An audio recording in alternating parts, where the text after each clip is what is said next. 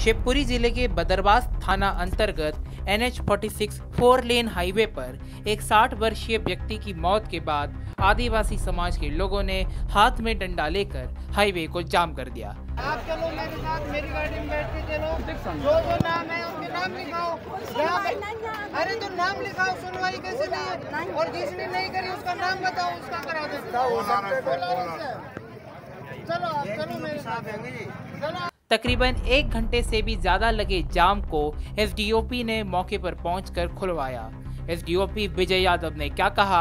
आइए सुनते हैं। एक्चुअली ये मामला बांसखेड़ा का है जहाँ पर इनका कुछ भूमि से संबंधित विवाद था और उसी से लेकर कोई घटना हुई थी तो आदिवासियों ने वहाँ पर रोड पर जाम लगाया था। सर लोगों का कहना भी था कि रात को कोई एफ़ कराने आए थे फिर पुलिस ने नहीं सुनी है। अनसुना कर दिया इस चक्कर में उस लोगों की जान। ऐसी चीज़ें हमारे संज्ञान में आई हैं और हम इस, इस पर बिल्कुल जाँच कर रहे हैं और जो भी इसमें दोषी पाया जाएगा उस पर तुरंत विभागीय कार्रवाई की जाएगी।